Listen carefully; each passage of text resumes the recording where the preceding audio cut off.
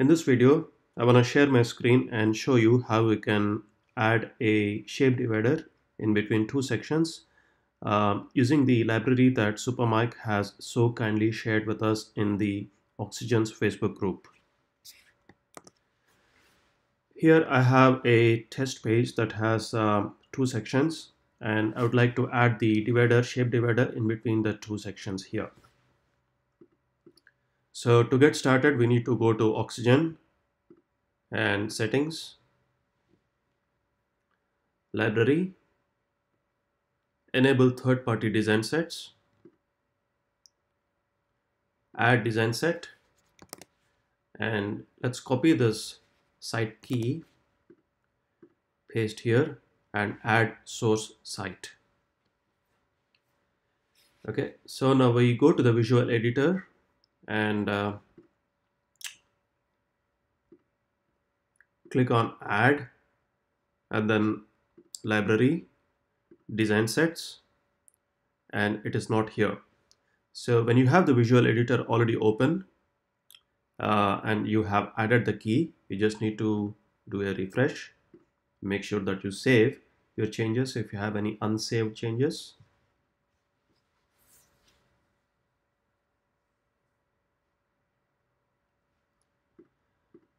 Okay, so in the structure panel, I'm making sure that I have the top section selected because the new section that we are going to add will get added uh, below this. So essentially in between these two. So let's go to add and library, design sets and oxygen for fun. Sections and elements and heroes and titles and here you can see all these shape dividers that we can add. So let's say we pick this one. I'm going to click on this. And that uh, gets added. It adds a new section having a code block. So the first thing we need to make sure is that uh, we change the, the fill color of this uh, SVG to match the background color of the section that we have below.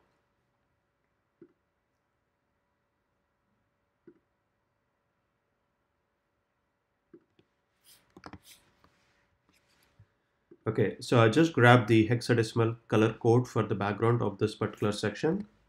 I'm gonna go inside the code block and uh, go to CSS and here you can see for this SVG I'm going to replace this existing fill color with the background color of my the bottom section.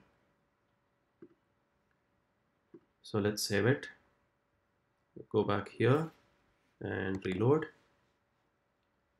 And here that's it. We have got the shape divider.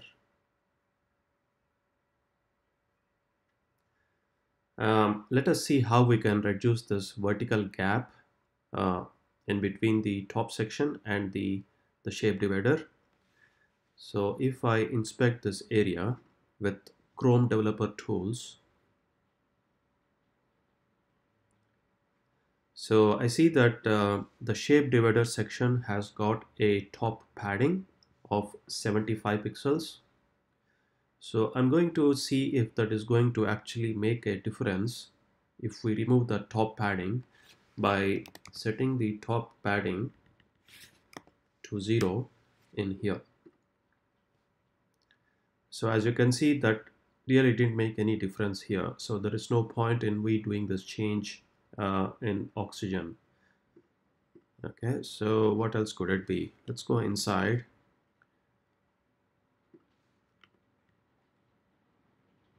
Okay so all right how about we remove the bottom padding for the top section? So for this top section if I set the padding at the bottom to zero you can see that that basically removes that extra space that we didn't want. So we'll just go back here select the top section go to advanced size and spacing and set this to zero. Save it. Come here and reload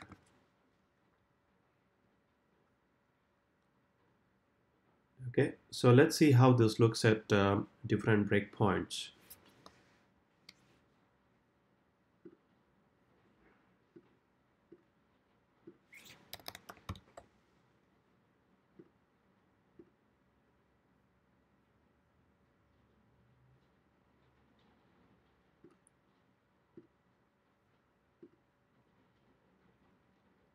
So when we are at 1120 uh, pixels and below, uh, I would like the height of this shape divider to be uh, lesser. Right now it kind of looks too tall. So let me start inspecting this shape divider.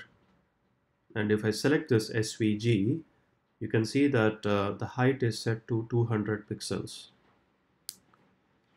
So what we can do is we can copy this particular selector and change this height to something uh, else like say 100 or 150 when we are at 1120 pixels and below.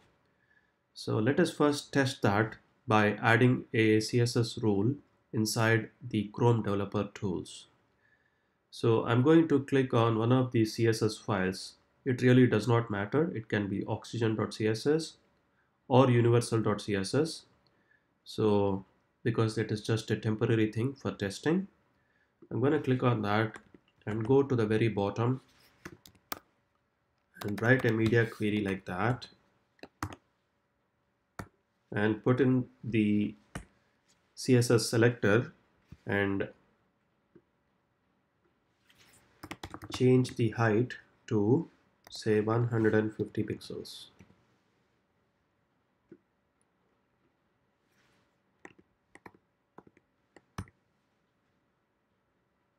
okay as you can see that has been overridden by this particular css that has been added to the code block. I mean that which is coming from the code block.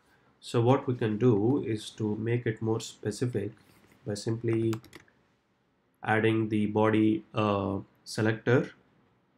And now we can see that the shape divider looks a little flatter and better. So let's copy this CSS and go to uh, and add that inside the website. Now, if you want, you can add that inside this code block or you can put it in the uh, global style sheet. But if you're gonna use this divider just on a single page, it makes sense to put that directly inside the code blocks uh, CSS area. So I've just done that. Okay. So just to test that I can now refresh and yeah that's fine. So let's take a look at the other breakpoint which is 992 and below. And that's okay. The other is 768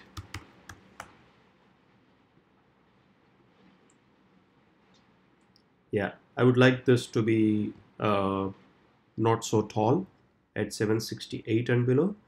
So we'll just uh, repaste that earlier media query and uh, change that uh, max width to 768 pixels. And let's change this height to 100 pixels. Save. Come back. Refresh. And that is better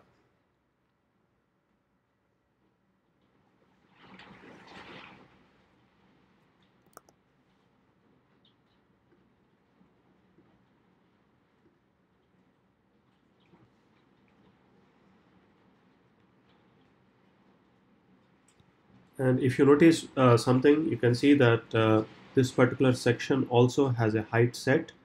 Uh, because of that we see a lot of white space. So we could we could affect that as well. So I'm gonna copy that selector and say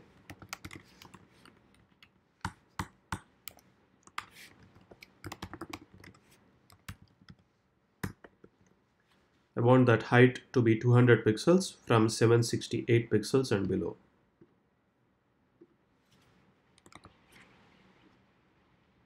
okay so that is better. So let's go to the other breakpoint which is 480 so I'm going to change this width to 480 and I would I would also like to reduce the height of this at 480 so I'm gonna copy that CSS paste here change this to 480 and we'll change this height to 50 pixels. And this one we can probably change to a 100 pixels. Save come back refresh and yeah there you go